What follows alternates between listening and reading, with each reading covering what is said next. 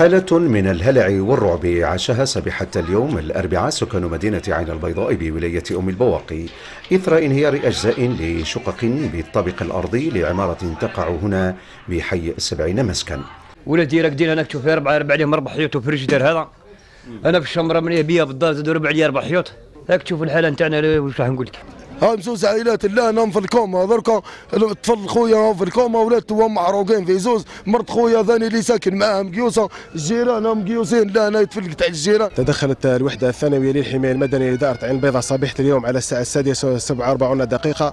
آه، مدعمة بالوحدة الرئيسية للحماية المدنية والوحدة الثانوية في كيرينا وبالريش لأجل انفجار شقة بعمارة بالمكان المسمى حي 70 ساكن طريق خنشلة عين البيضاء. أسفر هذا الانفجار عن 19 ضحية. لهم إصابات مختلفة من بينهم سبع أطفال.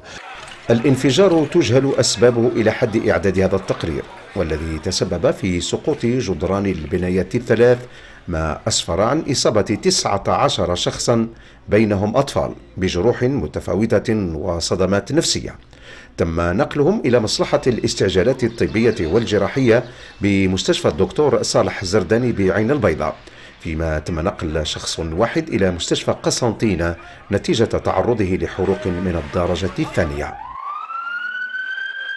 استقبلت مصلحة الاستعجالات الطبية الجراحية بمستشفى صالح الزرداني 13 ضحية نتيجة تعرضهم لحادث انفجار الغاز. هذا وتجدر الإشارة إلى أن المصالح المعنية فتحت تحقيقا لتحديد أسباب وقوع حادث الانفجار الذي ولحسن الحظ. لم يخلف أي خسائر بشرية تذكر.